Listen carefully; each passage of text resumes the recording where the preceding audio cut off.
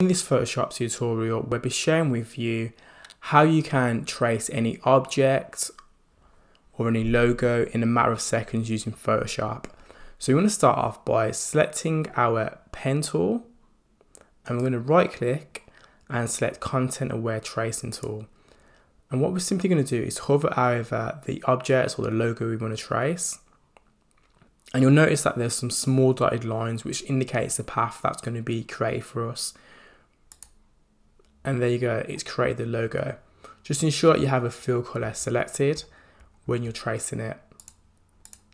And if you move, if we move it, it looks perfect. It's a nice, sharp, crisp logo which matches the original.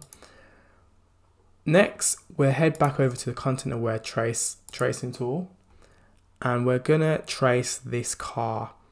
So we're simply just gonna use the same principle and draw around selection by selecting the dotted lines around it. And then we're going to change the fill color to be white.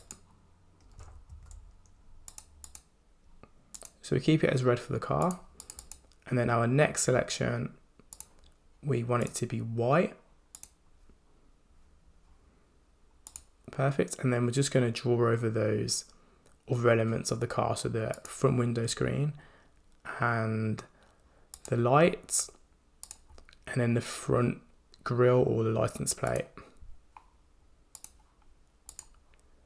And there you go, we've traced the car also in a matter of seconds. So it's a great little trick for retracing over logos or images that may be rasterized graphics that you want to turn into scalable images. Thanks for watching and stay tuned to Creative Nerd for further quick tips on how to use Photoshop.